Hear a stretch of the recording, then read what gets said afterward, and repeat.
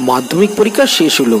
এবার রেজাল্ট বেরোনোর অপেক্ষা। মাধ্যমিক পরীক্ষা শেষ হওয়ার পর প্রায় তিন মাস ছেলেমেয়েরা বসে বসে রেজাল্টের অপেক্ষাতেই কেটে যায়।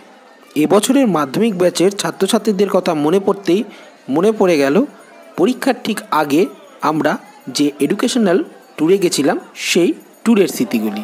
ছাত্রছাত্রীদের অনেক রিকোয়েস্টের পর আমি শেষ পর্যন্ত রাজি হলাম জানুয়ারি মাসের শুরুতে ছাত্রছাত্রীদের নিয়ে ঘুরতে যেতে। এই এডুকেশনাল ট্যুরের স্পট হিসেবে আমাদের উদ্দেশ্য ছিল এমন একটা জায়গা যেখানে ছাত্রছাত্রীরা ঘুরতে পারবে। নিশ্চয়ই তাদের মন হালকা হবে। মাধ্যমিক পরীক্ষার মতো একটা বড় পরীক্ষার আগে তারা তাদের মনটা হালকা করতে পারবে এবং অবশ্যই ভগবানের আশীর্বাদটাও যাতে পেতে পারে। এরকম স্পট বলতে গেলে বাড়ির কাছে একটা জায়গার কথাই মনে আসে, সেটা হলো মায়াপুর ইস্কন। জানুয়ারি মাসের মতো এরকম পিক সিজনে মায়াপুর ইস্কনে যেখানে হাজার হাজার ভক্তের সমাগম হয়, এই সময় আমি আমার ছাত্রছাত্রীদের নিয়ে মায়াপুর ইস্কনে যাওয়ার সাহস এই কারণেই করতে পেরেছি। মায়াপুর ইস্কনের আমার সমস্ত গলি চেনা কেন? মায়াপুর হলো আমার শ্বশুরবাড়ি। এই কারণে আমি এতটা সাহস করতে পেরেছি। চলুন, আপনাদেরও এই মায়াপুর ইস্কনের এই অসাধারণ ট্যুরের ভিডিওটি আপনাদের দেখাবো। কথা দিচ্ছি একটু অন্য স্বাদে, একটু অন্যভাবে এই ভিডিওটা আপনারা এনজয় করবেন। কারণ সাধারণত সবাই যেভাবে মায়াপুর এক্সপ্লোর করে, আমি সেখানকার প্রায় অর্ধেক লোকাল হওয়ায় এটা একটু অন্য স্বাদে আপনারা এক্সপ্লোর করতে পারবেন। চলুন তাহলে শুরু করা যাক। শীতের সকাল সকাল সবাই স্নান করে রেডি হয়ে সাইকেল নিয়ে আমরা স্টেশন পর্যন্ত এলাম এনজয় করতে করতে। এই সাইকেল রাইডটা সবাই আমরা এনজয় করলাম। সাইকেল স্ট্যান্ডে আমরা সবাই সাইকেল জমা দিয়ে এলাম ত্রিবেণী স্টেশনে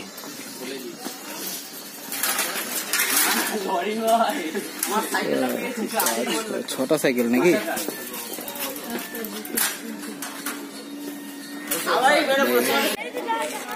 কত? একসাথে কাউকে তোলাই হলো না। পরে। আমরা টোটাল নয় জন আমাদের টিকিট কাটা হয়ে গেছে এখন ট্রেন আসার অপেক্ষা।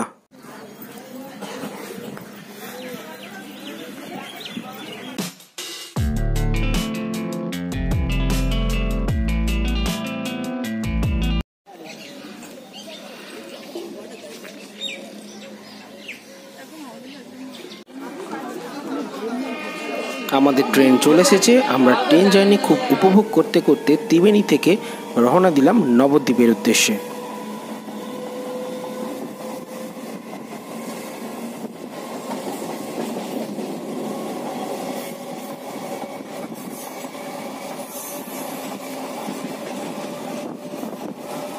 ট্রেনের দুদিকে এই প্রাকৃতিক শোভা দুর্দান্ত। চারিদিকে শুধু সবুজ আর সবুজ। এই অপরূপ প্রাকৃতিক শোভা আমরা উপভোগ করতে করতে পৌঁছে গেলাম নবদ্বীপে। কার বমি হয়েছে। ট্রেনের কাছে দাঁড়িয়ে রয়েছে বললাম সিটে আমরা নবদ্বীপের পরের স্টেশন বিষ্ণুপ্রিয়াতে নেমেছি নেমে টোটোয় চেপে পড়েছি চলেছি নবদ্বীপ ঘাটের উদ্দেশ্যে। নবদ্বীপের পরিবর্তে নবদ্বীপের পরের স্টেশন বিষ্ণুপ্রিয়া থেকে নেবে যদি আপনারা নবদ্বীপ ঘাট যান তাহলে আপনাদের ঘাট কাছে পড়বে।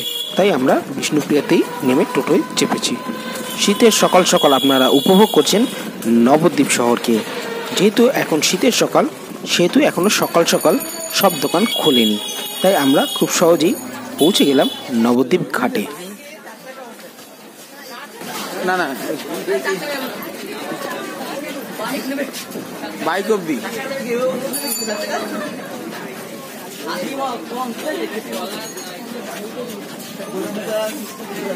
ওই দেখ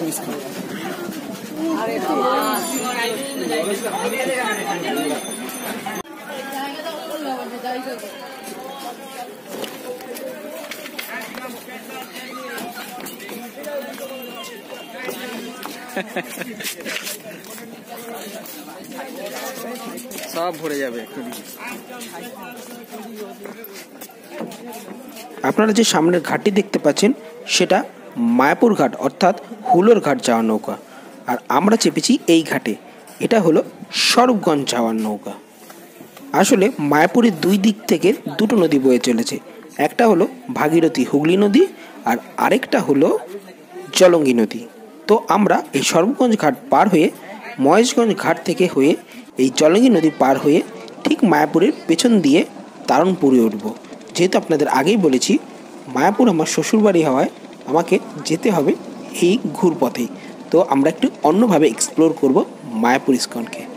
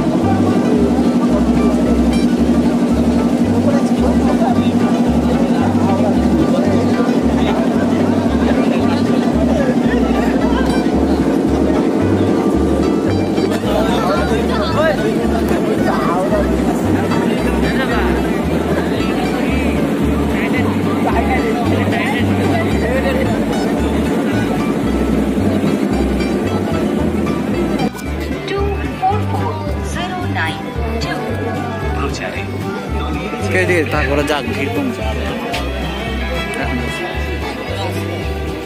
ধাক্কা দেবে? ধাক্কা দেবে?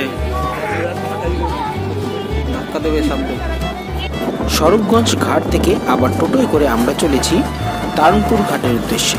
টোটো থেকে নেমে দু তিন মিনিট হাঁটা পথ। হাঁটা পথে ছাত্রছাত্রীরা উপভোগ করল গ্রামের অধিবাসীদের হস্তশিল্পগুলিকে এটা এটা পাট ইয়ে হয়, কি বলে? হ্যাঁ শাড়ি বানায় তাঁতের কাজ হয় যেগুলো। আমি ওই ওই বাড়িটা হচ্ছে।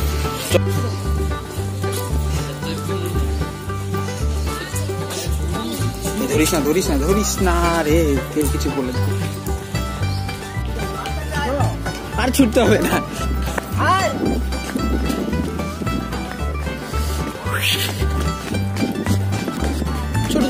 আমরা ঘাটে চলে এসেছি সামনে আপনারা দেখতে পাচ্ছেন এটা জলঙ্গি নদী। অত্যন্ত ঐতিহাসিক নদী একাধিক উপন্যাসে আমরা এই নদীর বর্ণনা শুনেছি।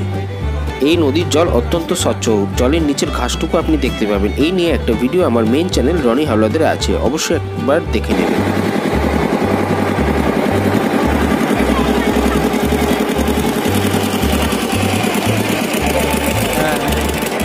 এটা জলঙ্গি নদী। জলটা পরিষ্কার। এটা আসব আমরা একটু পরে হ্যাঁ? এইখান থেকে কি সুন্দর ভিউ আসছে, না? হ্যাঁ?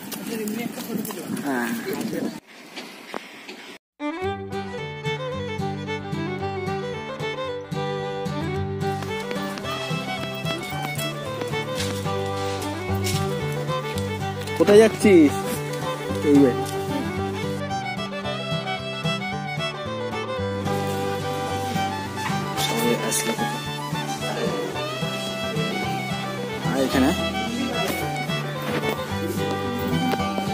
আমরা বাড়িতে চলে এসেছি, বাড়িতে এসে সোজা চলে এলাম বাড়ির ছাদে। কারণ ছাদ থেকে দেখুন কি অপরূপ শোভা, দেখতে লাগছে মায়াপুর ইস্কনকে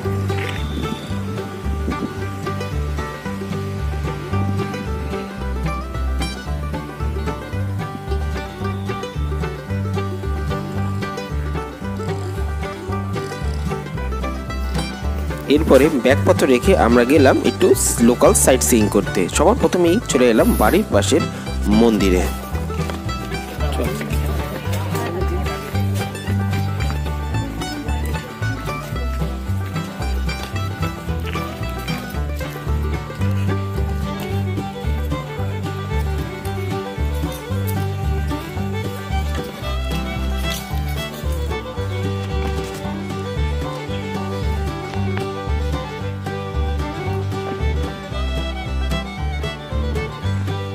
এরপরে আমরা চলে এলাম রাশিয়ান ঘাটে। মায়াপুর ইস্কন সূত্রে এখানে আছে রাশিয়ান সোসাইটি। তাদের উদ্দেশ্যে এই চলঙ্গি নদীর তীরে করা হয়েছে তাদের জন্য রাশিয়ান ঘাট।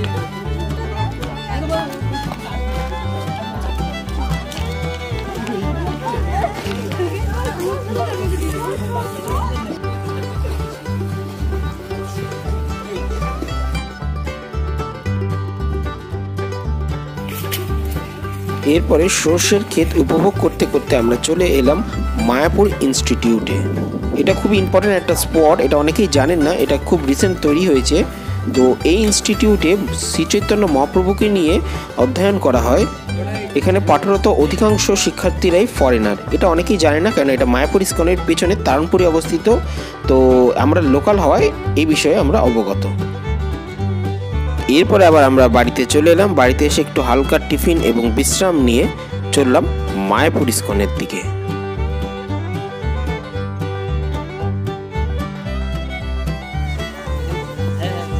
মায়াপুর ইস্কন মন্দিরের ঠিক পেছনে আছে এক বিশাল এলিফ্যান্ট সেন্টার এখানে এই হাতিদের পরিচর্যা করা হয়। মন্দিরের বিভিন্ন সময় অনুষ্ঠানে এই হাতিদের কাজে লাগানো হয়।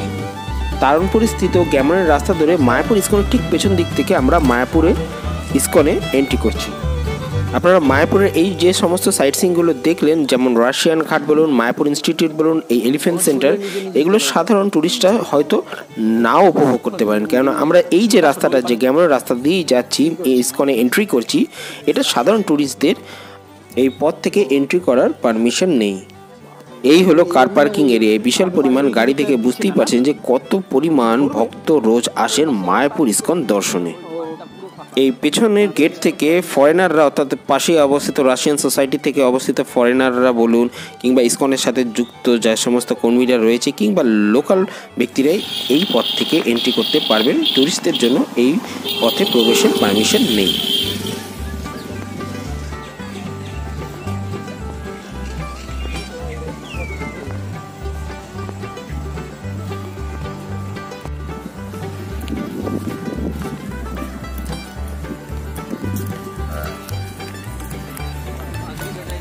যাই ছেলেমেয়েগুলোকে সাবধানে রেখো ঠিক আছে।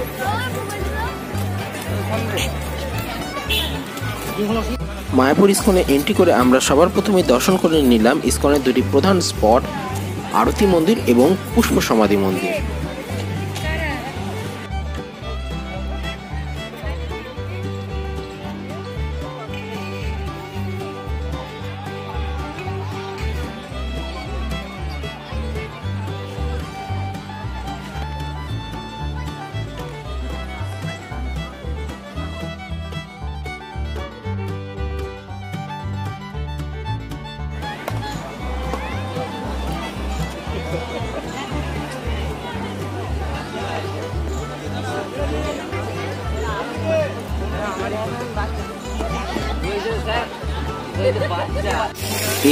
মায়াপুর ইস্কনের লোটাস পার্ক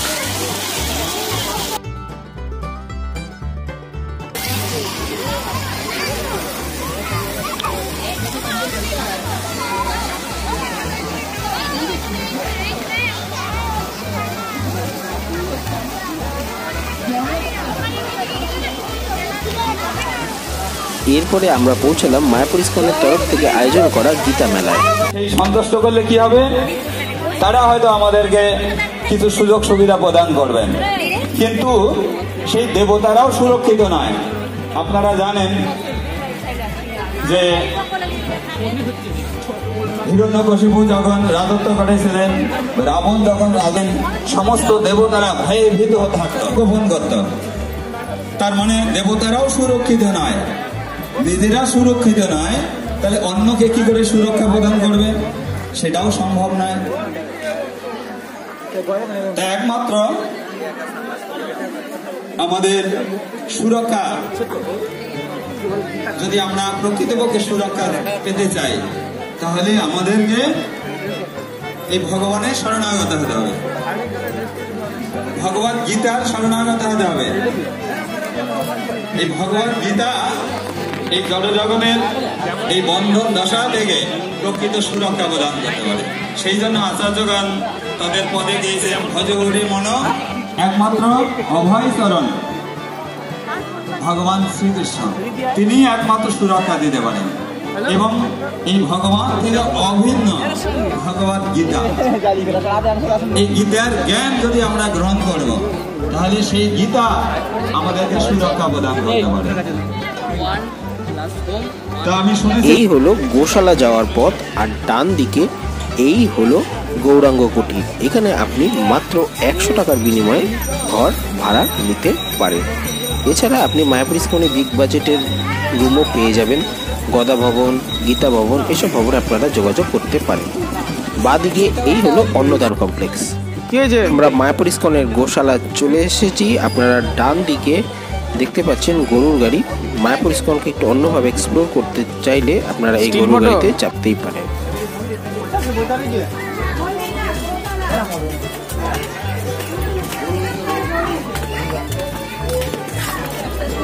먹어. 네, 그 사이즈.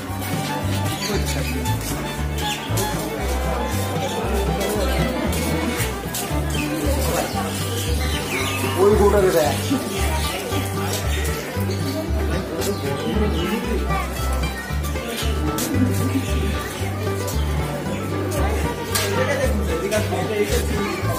হুম আসছে রাউন্ড দিয়ে আসছে।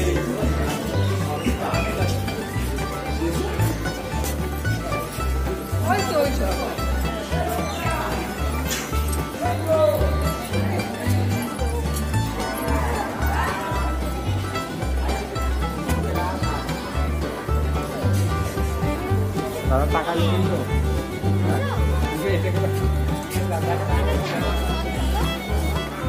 দু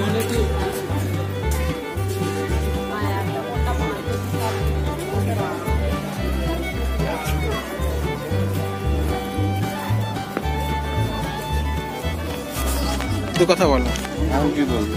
ইচ্ছা ক্যামেরায় আছো বলো। মানে কি নিয়ম কি এখানে? কীরকম ভাবে কি করা?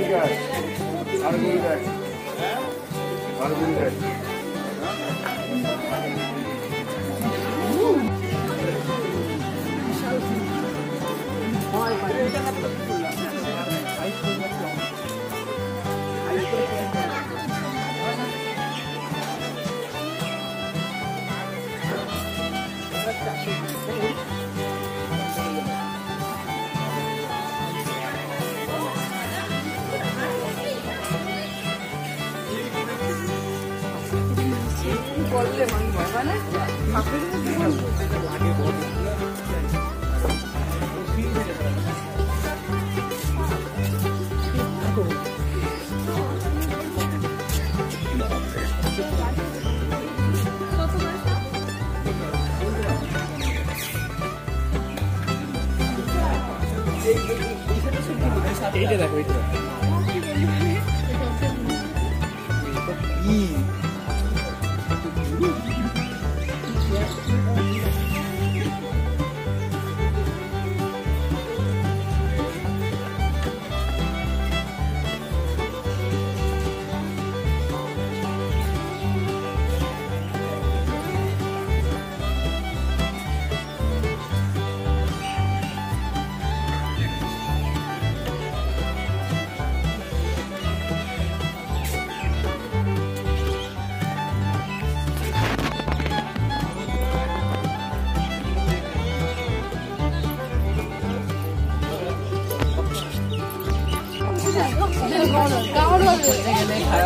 না কিছু।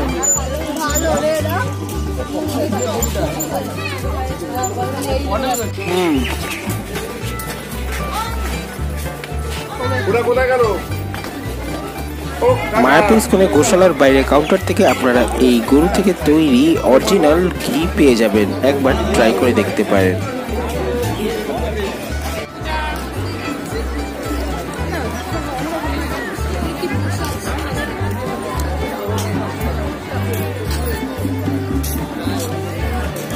কেউ যদি শুক্র প্রসাদ নিতে চাস নিতে পারি।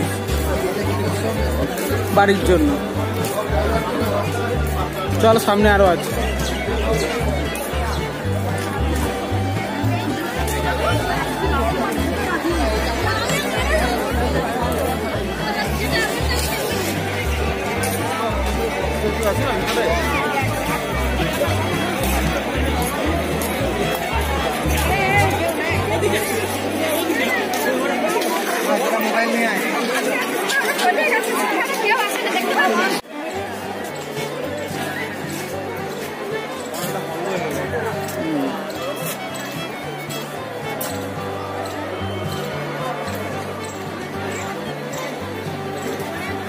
হলো মায়াপুর ইস্কনের পুষ্প সমাধি মন্দির। আপনারা মায়াপুর ইস্কনে আসলে অবশ্যই এর ভিতরে এন্ট্রি করবেন, যেহেতু এর ভিতরে মোবাইল ক্যামেরা নিয়ে প্রবেশ নিষিদ্ধ, তাই এর ভেতরে আপনাদের দেখাতে পারলাম না।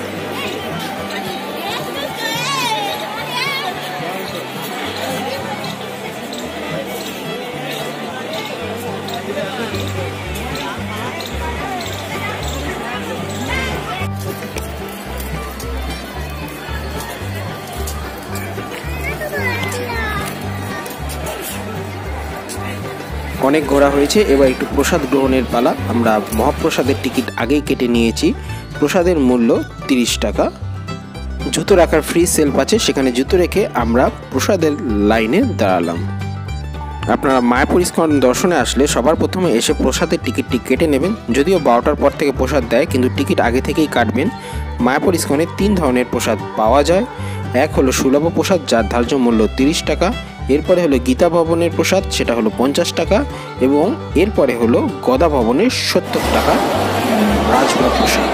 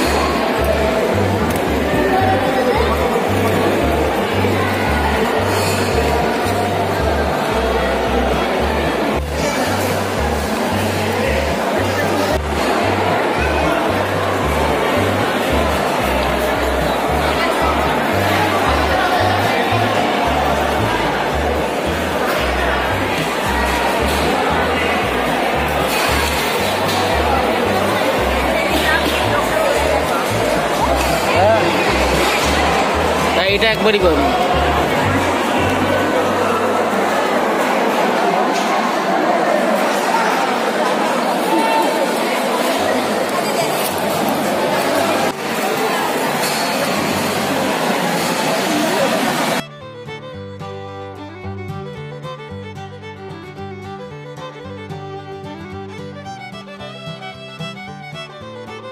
প্রসাদের মধ্যে একাধিক ব্যঞ্জন ছিল, ভাত, ডাল, তরকারি, পাঁপড় এবং নিঃসন্দেহে সবথেকে টেস্টি সেটা হলো খিচুড়ি।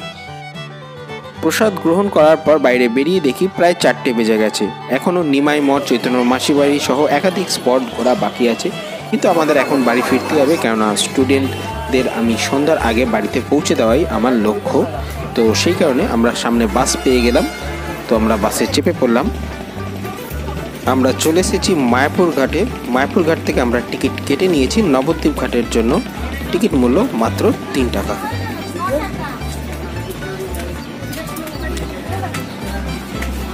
সাইডে দাঁড়া। এই সাইডে দাঁড়া।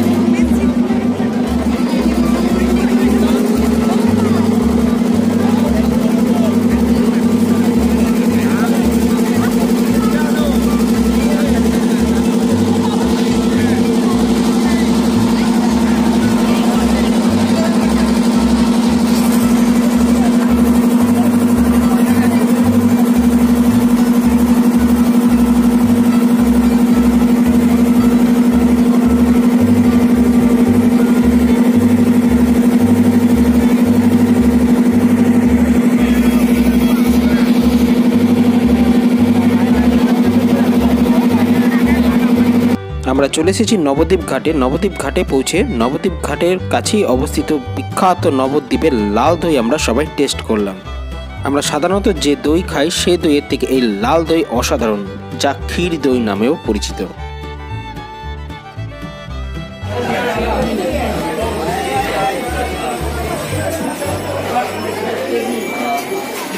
চল এরপরে আমরা নবদ্বীপ ঘাট থেকে টোটো ধরে আমরা নবদ্বীপ স্টেশন পৌঁছালাম এবং সেখান থেকে ট্রেন ধরে মোটামুটি সাতটার মধ্যে আমি স্টুডেন্টদের বাড়ি পৌঁছে দিলাম। ছাত্রছাত্রীদের সঙ্গে সারাটা দিন বেশ ভালোই কাটলো। তারাও মাধ্যমিক পরীক্ষার মতো একটা প্রথম জীবনের প্রথম একটা বড় পরীক্ষা দেওয়ার আগে নিজেরা একটু হালকা ফুরফুরে হয়ে নিল। পেয়ে গেল ভগবানের আশীর্বাদও। পরীক্ষা তাদের সবার ভালোই হয়েছে। আশা করি ভগবানের আশীর্বাদে রেজাল্টও ভালো হবে। মাধ্যমিক কিংবা উচ্চ মাধ্যমিক পরীক্ষা দিয়ে যে সমস্ত স্টুডেন্টরা বাড়িতে বসে আছো এবং পরীক্ষার রেজাল্ট নিয়ে চিন্তা করছ টেনশন করছ, তাদের এইটুকুনি সাজেস্ট করব তোমরা, এসব নিয়ে আর চিন্তা করো না, যা হয়ে গেছে, এসব নিয়ে আর ভেবে লাভ নেই, যা সামনে হবে, এরপরে যেটা তুমি নিয়ে করবে, তা নিয়ে এখন থেকে প্ল্যানিং করা শুরু করে দাও। জীবনটা অনেক বড়, তাই জীবনে ভালো, খারাপ নিয়ে সমস্ত কিছু নিয়েই জীবন। তাই যতদূর সম্ভব আমাদের খারাপ জিনিসগুলো অ্যাভয়েড করে, যে সমস্ত ভালো জিনিস আছে সেগুলো থেকে ইন্সপায়ার্ড হয়ে সামনে এগিয়ে গেলেই হয়তো আমরা জীবনে বেশি কাজে লাগাতে পারব এবং জীবনটাকে আরও সুখে বাঁচতে পারব। আশা করি এই ভিডিওটা তোমাদের ভালো লেগেছে। ভালো লাগলে ভিডিওটাতে অবশ্যই লাইক করবে আর আমার এই নতুন চ্যানেলটিকে অবশ্যই সাবস্ক্রাইব করবে। তাহলে বন্ধুরা সবাই ভালো থাকবে। তোমাদের সঙ্গে দেখা হবে এর পরের কোনো ইন্টারেস্টিং ভিডিওতে ভালো থাকবে টাটা।